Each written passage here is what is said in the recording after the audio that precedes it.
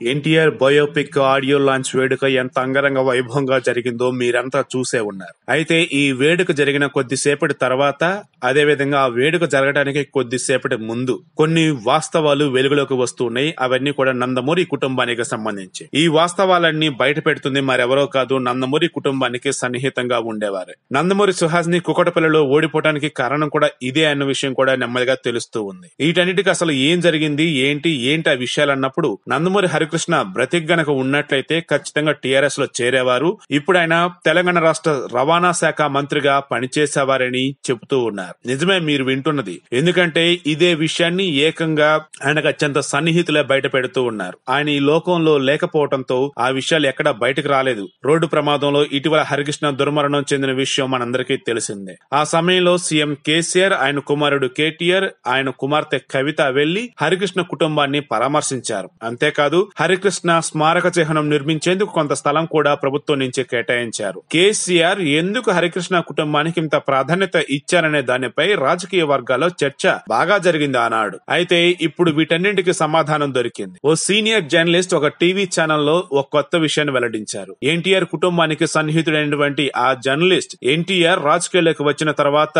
మొదటి ఇంటర్వ్యూ అలాగే ఆయన చివరి ఇంటర్వ్యూ కూడా ఆయన చేశారట. కొంతకాలం క్రితం సెన్సార్ బోర్డు సభ్యులుగా కూడా ఆయన పనిచేశారు. ఇక విషయం ఏంటయ్యా అంటే హరికృష్ణ చనిపోవడానికి కొద్ది రోజుల ముందు ఓ పెళ్ళిలో ఆయనను కలిశానని ఆ సమయంలో ఆయన తన కుటుంబానికి జరిగిన అన్యాయంపై చాలా ఆవేదన వ్యక్తం చేశారని చెప్పారు. తన కుటుంబాన్ని చిన్నాభిన్నం చేశారని హరికృష్ణ ఎంతో బాధపడ్డారని కూడా తెలిపారు. మలక్పేట నుంచే టీఆర్ఎస్ అభ్యర్థిగా పోటీ చేయాలని హరికృష్ణ అనుకున్నారని చెప్పారు. ఈ విషయంపై కేసీఆర్తో మాట్లాడినట్లు హరికృష్ణ ఆ జర్నలిస్ట్కు చెప్పారట. తాను రవాణా శాఖ మంత్రిగా పనిచేశాను. నీ కూడా అదే శాఖ ఇస్తానని కేసీఆర్ తనతో అన్నట్లుగా హరికృష్ణ చెప్పినట్లు తెలుస్తోంది. కేసీఆర్కు హరికృష్ణకు మంచి సాన్నిహిత్యం ఉందని హరికృష్ణను మళ్ళీ పైకి తీసుకురావాలనే ఆలోచన ఆయనకు ఉందన్నారు. హరికృష్ణ ఇంకా బతిగ్గనక ఉన్నట్లయితే ఆయన జీవితం మరోలా ఉండేదని ఆయన చెప్పుకొచ్చారు. ఎన్టీఆర్ పై బాలకృష్ణ తీస్తున్న కథానాయకుని సినిమాలో హరికృష్ణ ఇద్దరు కుమారులకు అవకాశం ఇవ్వలేదని కానీ ఆయన చనిపోయిన తర్వాత కళ్యాణ్ రామ్కు అవకాశం ఇచ్చారని చెప్పుకొచ్చారు. మొత్తంగా చూసుకున్నప్పుడు హరికృష్ణ గనక బ్రతిక ఉన్నట్టయితే ఖచ్చితంగా టీఆర్ఎస్లో కీ రోల్ పోషించేవారన్నది